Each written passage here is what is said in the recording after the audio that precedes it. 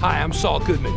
Did you know that you have rights? The Constitution says you do, and so do I. I believe that until proven guilty, every man, woman, and child in this country is innocent. And that's why I fight for you, Albuquerque! Better call Saul.